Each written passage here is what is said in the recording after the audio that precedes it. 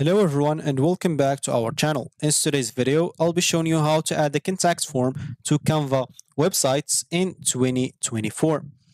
So today I'll show you how to integrate a contact form, of course, seamlessly into your Canva website. So make sure to follow this step-by-step -step guide to add your form to your Canva website right away. So make sure to stick by. Let's dive right into this video and simply let's get started. Before we start with this video, make sure to watch us from now till the end so you have full experience. First, you'll need to go and open a browser. For me here, I'm using Brave for you. You can use whatever you want. Just go to the CR section. Basically, just type canva.com, hit the enter button, and this should take you to their website right away. If it's your first time, basically, you'll be taken to this page instead. So click on login to log in into your account. If you have an account, eh, as you can see, you can log in with the multiple options.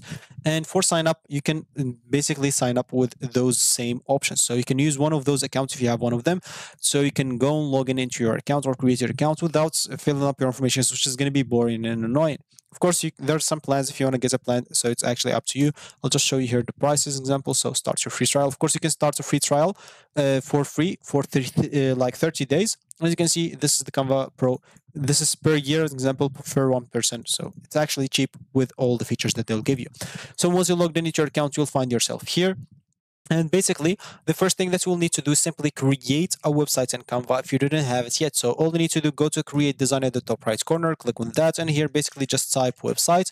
And as you can see, you'll find the website here, click on it, and you'll find yourself on this place. Here, make sure to start creating your website and designing it however you want, or you can use one of the templates that they have. Make sure you use just the free ones example, a lot of free ones in here. The, the pro ones you will not be working unless you upgrade the plan. If you have a plan, you'll be able to use them for free, uh, not copyrighted or anything like that. So just use them however you want. And for me, I'm not going to do that. I'm just going to use like a website that I already have. So just go and move that to trash example. I'm just going to use that uh, a design uh, that I already have. An Example like a website here. As you can see, it's already like published. As you can see, you can preview it and see however it looks. Of course, I can preview it on desktop and mobile and see everything uh, if it's working if it's working correctly. As you can see, I have here, a navigation menu. If you want to know how to add this in your Canva websites, I've already uh, like made a video about this and how to add this and even edit it in the same video. So as we said, here as you can see, the navigation menu will look like this and the phone will look like this. So make sure to see it however you want. For me, I'll just go here and click on the design form you as an example, or as I said before, make sure to uh, design your websites however you want. Change text, change elements, design, placeholders, anything that you want. And now, of course, within your Canva website templates, you can create a new section or a new page uh, where you want, of course, your contacts form to appear. You can use Canva elements like text, shapes to design uh, the placeholder for your contacts form. And this could be a simple box like a contacts us header or and some, of course, placeholder text. Then you can generate a contact form using Form Builder you will need, of course, to use an external form uh, builder like Google Forms, uh, Jot Forms, or Typeform to create your uh, contacts form. As an example, if we go and open new tab and ty type contacts, uh, or sorry, so we'll type here Google like Forms and hit the enter button. Example, so you can simply just go and try forms and click on get started example and create your account. Of course, here you'll need to create a Google workspace without you'll not be able to create a form. Keep that in mind. Of course, this if you want to try it for work. If you want to just go to forms right away, here you can start creating your form right away. Of course, you can use one of the template that they have, like example, contact information form. Maybe as an example, this is already good for you. You don't want to create your own. So it's actually good. So it has an example uh, description if you want to add any uh, name uh, email address phone number comments. If you didn't like any of them as an example maybe you didn't like uh, i don't know the phone number one you can simply just go and delete it. It's actually up to you. Then simply you can simply just go here and click on send and you'll be able to send it to people. You can send it via multiple people. You have here even the links for it. Basically for us what we want of course once you finish your form and customize the form appearance to match your canva website once your contact form is ready you'll need to get an embed code from the form builder. This usually will be found in the sharing option and as you can see it's going to be this one so we need this embed HTML. So make sure to go and copy this HTML embed code provided by the form builder. Either you use, of course, uh, Google uh, Forms or you use whatever of the options that I told you about, which is Jot form, type form, all of them will give you this embed code. So make sure to copy that code and simply go back to your Canva website. And let's say this is the page where we'll put our contact form. So to add this in here, we'll need to simply so you'll need to go to share button at the top right corner and make sure to select website from here. And from here, of course, you'll be able to choose like all the things that you need. And basically, of course, here, once you go and click on publish example websites, it will be published to see it. So example, I'll just go here and click on republish. Uh, because example here uh, once you publish you'll be able to see everything. So if you go here and click on view websites you might not see of course uh, like your things because since canva does not natively support html embeds you will need to basically to use an iframe to add your context form.